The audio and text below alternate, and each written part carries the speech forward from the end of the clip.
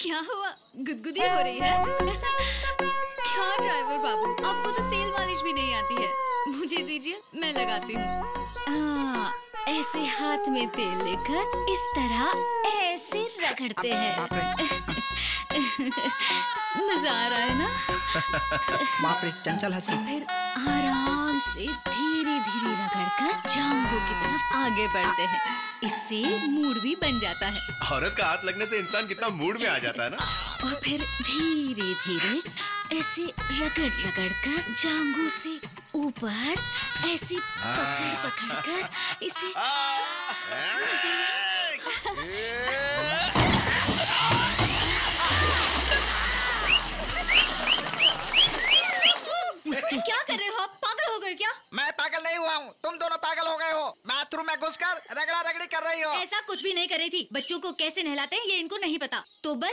सिखा रही थी। ओहो। बच्चों को नहलाना नहीं जानते ऐसे लोग भी ना जाने क्यों? बच्चा पैदा कर लेते हैं। बच्चे पैदा नहीं कर सकते तो शादी क्यों की? ए, कौन बोला रे? कौन बोला? हिम्मत है तो सामने आकर बोल के दिखा। डरपोक कहीं का गधा? स्टार्ट करो। ये क्या है स्वामी जी पेट्रोल प्लांट मतलब पेट्रोल का पौधा। पेट्रोल पंप के बारे में सुना है लेकिन पेट्रोल का पौधा क्या चीज़ है? बताता हूँ।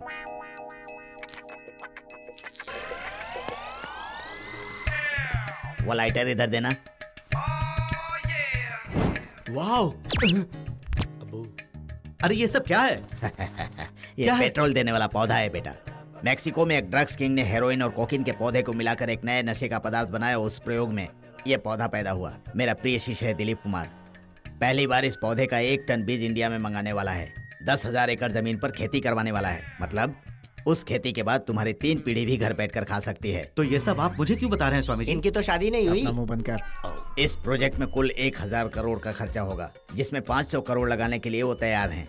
बाकी के 500 करोड़ लगाने के लिए और बिज़नेस देखने के लिए। एक अच्छा सा पार्टनर चाहिए मुझसे कहा था। इसीलिए तो मैं इस यात्रा पर निकला हूँ। तुम मेरे प्रिय शिष्य हो इसीलिए मैं तुम्हें पहला मौका देना चाहता हूँ बेटा। बहुत बहुत धन्यवाद स्वामी जी सर लेकिन आप दोस्ती के नाम पर पार्टनर के नाम पर किसी और को इसमें शामिल मत करना। हाँ जी ये प्रोजेक्ट आपको अकेले ही करना होगा। अरे मैं भी यही सोच रहा हूँ। आ, वो भानु के पास ना मेरे 200 करोड़ रुपए हैं। वो मैं किसी और बहाने से वापस ले लूँगा। और बाकी के 250 करोड़ इंडिया से ट्रांसफ़र भी करवा लूँगा। खुश रहो। ये प्रोजेक्ट की बात लिख मत करना। इसे रहस्य ही रखना वरना मेरे दिलीप कुमार मुझसे नाराज़ हो जाएँगे। ठीक है बाबा। जय हो सच में? हाँ सर मैंने अपने कानों से सुना है और अपनी आँखों से देखा है। हम यहाँ दस हज़ार फुट अंदर तक खोते हैं लेकिन एक चम्मच पर पेट्रोल नहीं निकलता। वो कोई मामूली पौधा नहीं है सर। मसलने पर पेट्रोल बरसने लगता है उसमें से। Dad it's miracle. उल्टे कामों में वो हमारे पैसे लगवाकर अकेले ही ये धंधा करना चाहता है। बताता हूँ दोस्त मुझे तुमसे कुछ अर्जेंटली बात करनी है। बोलो। वो क्या है ना कि मुझे थोड़े पैसे चाहिए थे। मेरे ढाई सौ करोड़ ट्रांसफ़र कर दो तो। ढाई सौ काफ़ी है या पाँच सौ चाहिए? नहीं नहीं ढाई सौ काफ़ी है। किसे ट्रांसफ़र करना है? तुम्हें क्या दिलीप कुमार को? अब, अब, अब, ये बात तुम्हें कैसे? इसको भी फंसा लिया। मुझे सब पता है दोस्त। पेट्रोल प्लांट प्रोजेक्ट के बारे में सुना है। अब तक चाहे लीगल हो या इलीगल हो सारे बिज़नेस हमने मिल के किए हैं। लेकिन ये काम तुम अकेले ही करना चाहते हो। अरे ऐसा नहीं है दोस्त। इसमें थोड़ा रिस्क है इसीलिए तुम्हें क्यों इन्वॉल्व करूँ? मुझे रिस्क ही पसंद है। ठीक है दोनों मिलकर ही करते हैं। फिफ्टी फिफ्टी ओके दोस्त। पेड़ा ये शादी होते ही सारा पैसा ट्रांसफ़र कर देना। हाँ, तब तक इसलिए सर? आप हाँ कह दो मैं पाँच मिनट में ट्रांसफ़र करता हूँ। कभी कभी समय मौकों को दूर कर देता है सर। हाँ कहिए सर। हाँ। सर आपका नाम दीजिए मैं हैदराबाद से हवाला कर देता हूँ। ये तो मुझसे भी बड़ा उल्लू है। इसीलिए तो इसे सिलेक्ट किया है।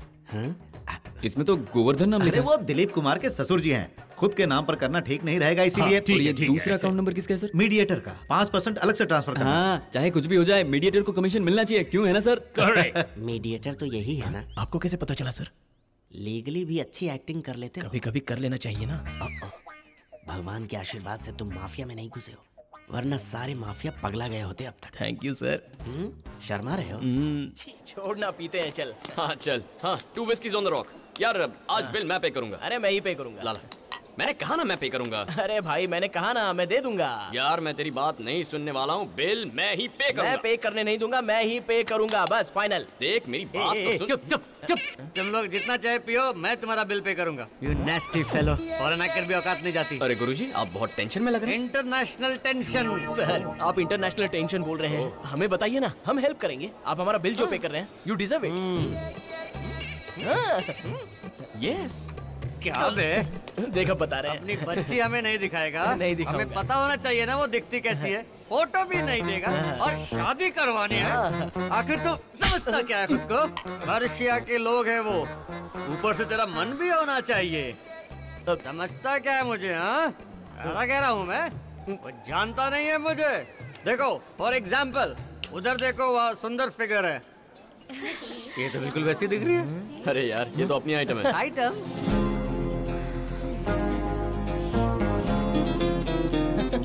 हाँ आ रहा हूँ। ए, ये क्या उसके बुलाते ही उसके पास चला गया? अरे उसकी सेटिंग जो है। सेटिंग हाँ। मतलब ये क्या कोई सलमान खान है? शाहरुख भी है। बाप रे। हाँ। इसके लिए तो मैं रिश्ता देख रहा हूँ। साइबर सनकी के नाम से फ़ेमस ये शंकर नारायण फेसबुक पर पहले लोगों को दोस्त बनाता है। उसके बाद उनको विश्वास में लेकर उनके साथ धोखाधड़ी करता है। मेरे क्लाइंट को भी।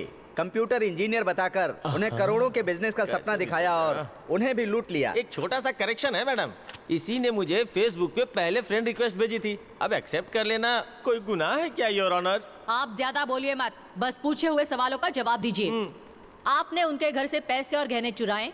ट्रू लेकिन ये अपराध मैंने अकेले नहीं किया है। ये भी मेरे साथ है। इसलिए मेरा पार्टनर हुआ। एम आई करेक्ट मैं समझी नहीं। मैं भी समझाता हूँ ना ये रोनर फेसबुक फ्रेंड बनने के पहले हफ़्ते में ही ये मेरा परिवार है, ये मेरा घर है। अपने फुल एड्रेस के साथ मेरे पास फ़ोटो भेज दी। मेरे अंदर के लालच के शैतान को इन्होंने उंगली करके जगा दिया। उसके बाद एक दिन परिवार के साथ गोवा जा रहा हूँ। आने में तीन दिन का समय लगेगा। I am missing my home का पोस्ट डाला था मैडम। मैंने भी सोचा ऐसा मौका क्यों मिस करूँ? इसलिए घर के अंदर चला गया मैडम। नेट पे देखा तो साहब फैमिली के साथ मस्ती कर रहे थे। तो मैंने भी खूब इंजॉय करो ऐसा कमेंट कर दिया। उसके बाद इनके घर में जो ब्रांडी पड़ी थी पी के मैंने भी इंजॉय किया मैडम। तीन दिनों के बाद इन्होंने बैक टू चेन्नई का पोस्ट डाला। फिर मैंने अपने काम की चीज़ों को पैक कर लिया। और जब ऑन द वे का पोस्ट डाला तो मैं सारे सामान को उठा के रफू चक्कर हो गया। अब आप ही बताइए योर ऑनर मैंने जो किया अगर वो गलत था तो मेरे साथ ये भी दोषी हुआ ना? अच्छा। ये चेहरे पर घाव कैसे हैं? फिसल कर गिर गए थे क्या? हाँ मैडम मैं यही बताने वाला था। क्या बताने वाले थे? ये जो इंस्पेक्टर साहब है ना घर में झगड़ा करके आए और मेरी कुटाई कर दी है। नालायक मुझे क्यों फंसा रहा है? क्या आपने सच में ऐसा किया था? नहीं मैडम गहने को रिकवर करने के टाइम सच क्या है? बोलो। नहीं गहने को रिकवर करने सच क्या है? बोलो। आ, ऐसे कोई जानवरों की तरह मारता है? जानवरों की तरह मारा ही नहीं डांट भी रहे थे मैडम। अबे नौकरी से निकाल देंगे क्या? चांस तो है। उसके बाद क्या करूँगा? टीवी में कैंपेनिंग कर लो। अब... आपको कई बार वार्न किया है ये आखिरी बार है। ओके मैडम संग्राम हॉस्पिटल में इसके अच्छे से ट्रीटमेंट करवाओ। ओके मैडम और उसका खर्च तुम अपनी जेब से करोगे। Okay madam